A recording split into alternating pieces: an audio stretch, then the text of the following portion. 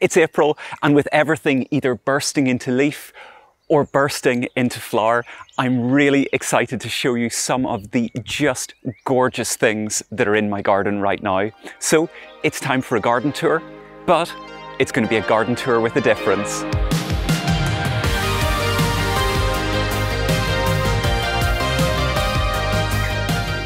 Hey everyone, how's it going? And welcome back. Over the last few years, I've shown you around my garden countless times in garden tours, whether it's in spring, summer, autumn, and even winter. But I realized it's always from this point of view. You behind the camera, me standing here, and the garden behind me. We are really fortunate that the garden we have is large and it's split into really nice distinct areas, but I know that that can make it a little bit difficult and tricky to imagine exactly where everything is. So what if you could see exactly what it's like to be in the garden from my point of view, to walk around and to experience it? Well, that is what we're going to do today. So let's have a walk around and let's have a look at some of the really lovely things in the garden this spring. When you come in through our front gates, you have two gardens at the front, the main front garden, and on the other side of our driveway, hidden behind this hedge, is our secret garden. So let's have a look there first. It really is a little bit of a squeeze to get into the secret garden, but it's totally worth it because in here is just the most lovely secluded space with lovely mature trees and some really beautiful shrubs. So let's have a look straight away at this, our Magnolia stellata. This has just been flowering its heart out for the last month or so and you can see that now it's coming into leaf but there is the remains of still some really lovely white blossoms. This is really small. It's only about three foot high, but it is just glorious and I love it. It was planted by the previous owners and I'm very glad to have it. In the secret garden, we also have this really quite large and mature Acer. The colour all year round is beautiful I love it in the winter when the leaves are off it and you can see the form of all of the branches. But just now, when the leaves are starting to open and you can still see the sky through it, I think it's really beautiful. And I know that come autumn, this thing is going to be ablaze with colour. The secret garden is absolutely chock-a-block with lovely mature trees and shrubs like this big Robinia pseudoacacia, where you can see the form of all of the twigs and branches because the leaves have come off it. But it's not only the big things that are worth a look, the little small plants are definitely worth a look too. Like this, this lovely little fern that's just starting to unfold for spring. Clumps and clumps of aquilegia that you can see haven't started flowering yet, but are going to be flowering soon. And the return of these, the Japanese anemones. I absolutely love them. But that's the secret garden. Let's go round and have a look at the front garden. Back across the driveway and it brings us into our front garden and you'll have seen this shot so many times before when I do my garden tour videos but Rather than simply me standing in front of the camera and showing you it at a distance, let's go and have a much closer look at some of the beautiful things that we have. Right now, our wedding cake tree is really bursting into leaf and the colour is something special. It's already a variegated plant, so it's got lovely white and green markings to each leaf, but at this time of year, when the leaves are just starting to open, they are an almost creamy yellow kind of green and the colour just absolutely sings out and it looks really striking. Behind are three huge silver birches that are tucked into the very corner of the front garden next to our gates. These are still bare, they haven't come into leaf, but it means that you can enjoy that really bright white bark and you can see just how tall these are. They're about 30 foot high. They're absolutely massive. But nestled below them, I want to show you one really special little plant. This little plant is just something special. I have to confess, I didn't know exactly what it was initially because I didn't plant it myself, it was already here, but what it is is a white and pink saxifrage, and at this time of year, it flowers without fail every time. From this corner behind the wedding cake tree, you can see all of the other trees that we have. We've got three maples in the very corner that again haven't come into leaf yet, but we do have one very large purple leafed maple that although it's not in leaf, is actually starting to flower. Underneath the maple trees, we have a mixture of perennials like Echinops and my newly planted Verbena bonariensis, and soon to be planted in there, lots of grasses. But in the front garden, the star of the show at the moment has to be this. This is the ornamental crabapple. It is huge, it's really mature, and as well as the beautiful fruits in the autumn, at this time of year, it is covered with pinky white flowers. But those flowers, before they open, are really in tightly encased in dark pink buds.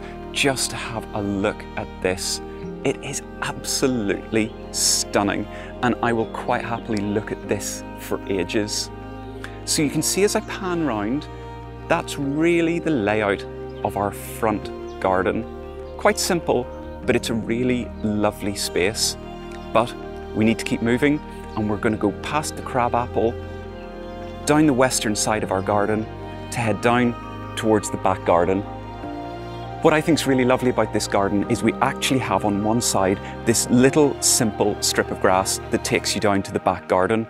But what it does is it opens up this really lovely glimpse down towards the pond and down towards our absolutely huge cedar tree. So let's head down that way and have a look. And once you get down to the back garden, here is the view. And this will show you really clearly where everything is in the back garden.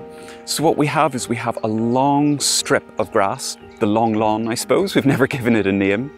Down towards the corner you can see that there's a big beech hedge that runs the length of the back garden. That's where the veg garden is, tucked behind that. We have the trees for the apple orchard and then as we continue round we've got the pond underneath the cypress tree. But before we look at any of that, I want to show you something that's at the far end of the garden and it's over there. It's the big orange Berberis. Just check this out.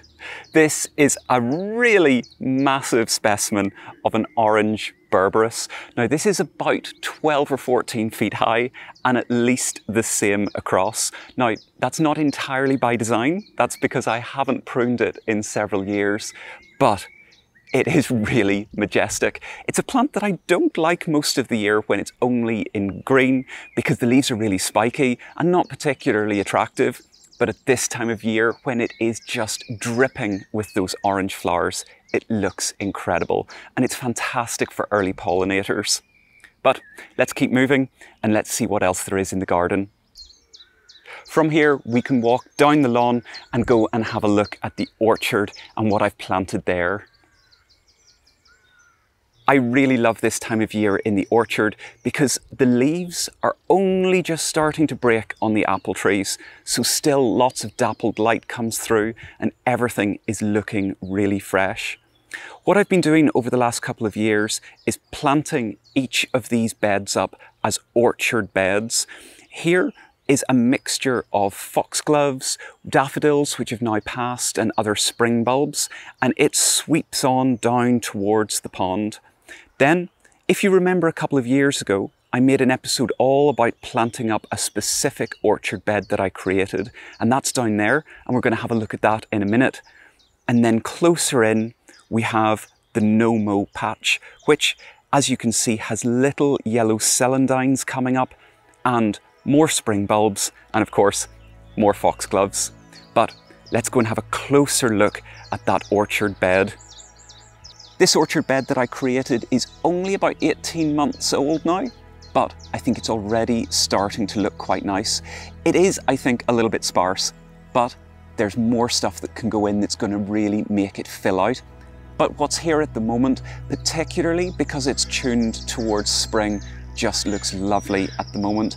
I've got blue forget-me-nots, Fritillaria meleagris, the snake's head fritillary, Tulip, Queen of Night, that are all just starting to open. So, so close. They look lovely. And more foxgloves.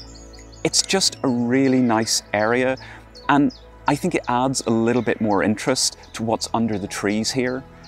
And then if we look across, as I pan across, you can see all the other plants that I've got here on the other side. So these are the remains of the spring bulbs. We've got some nice little bluebells and more foxgloves. There's a theme.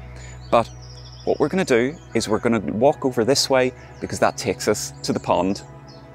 When it comes to the pond, normally you would see me kneeling next to it, but I thought I would show you from a different angle. This is from behind the rockery, and please be kind to me. I know that there does need to be quite a bit of weeding. There's a lot of herb robert, and there are a few thistles in the rockery, but at the same time, it's looking really nice.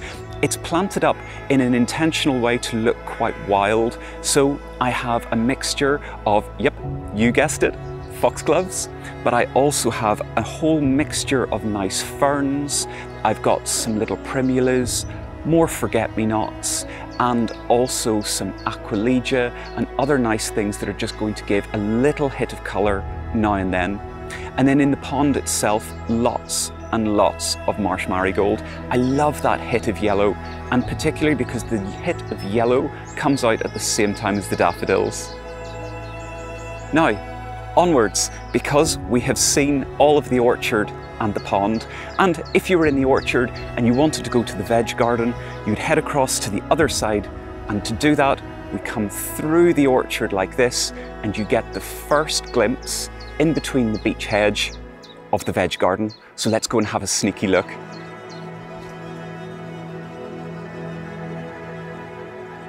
Now, here is the veg garden at the moment, and I'm only going to show you a small bit of it, and that's because I'm going to do a dedicated veg garden episode, but you can see that even though it's early spring, we've got loads of things going on.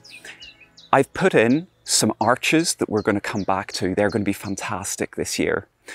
In these beds, we've got a whole bed of garlic, we have a bed of onions.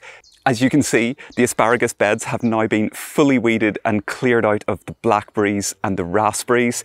If you didn't see the backstory behind that, I'll link the video up above.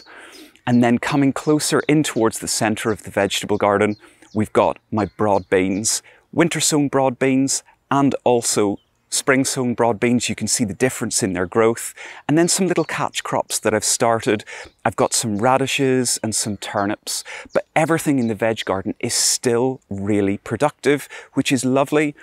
Just here, I still have the remains of my carrots that have been overwintering. They're going to get pulled up and also a nice little crop of guardsman spring onions.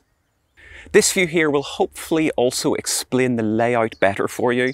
We're now standing at the eastern end of our garden and looking across the width of the garden, down through the beech hedge, out of the veg garden, through the orchard and right down to the pond at the end. We're going to go back through this way because I want to show you something that I don't think you've seen before. And what we do is we come out to the orchard, but we're going to turn left and go towards the end of the garden. And it's this bed here that's currently in shade. We've come out of the veg garden and now we're right down at the very back of the garden, looking back up towards the house, towards the north. And you can see down in the very far corner on the left, that's where we came down from the front garden. We've got the pond, the orchard, and the veg garden off to the right behind the beech hedge. But something that I've realised I've never shown before is this bed, which sits at the very end. Now, this didn't really have very much going on when we moved in. It has, a, I suppose, a conifer tree, and that's about it. But last year, my mum and I planted it up with a whole selection of beautiful, dark irises. When these flower in a month or two, these are going to have really lovely dark purple, almost black flowers, and I have filled this bed with clumps of them. Now again, please be kind because I can see weeds. And you'll notice that some of them are also getting smothered by clumps of forget-me-nots. But those little blue flowers mean that I don't have the heart to pull them out yet, but they'll be coming out soon, and then we can enjoy the flowers in this bed once they really get going. Our garden is about an acre, but it's a really long, thin acre, and it tapers towards a point on the eastern side of it. And in that point is where our polytunnel is, tucked behind the beech hedge, and then further round behind, there is what I'm going to nicely describe as our compost area.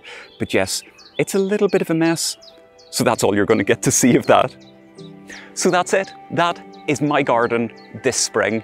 I really hope you've enjoyed the garden tour and particularly I hope that you've enjoyed being able to just quietly walk around with me and enjoy what the garden has to offer from my point of view because I really do love sharing this place with you. If, however, you're still in the mood for some more gardening inspiration or just some really nice garden videos, can I recommend one or two of these videos here? Check them out because I think that you're gonna love them. And as ever, until next time, see you later.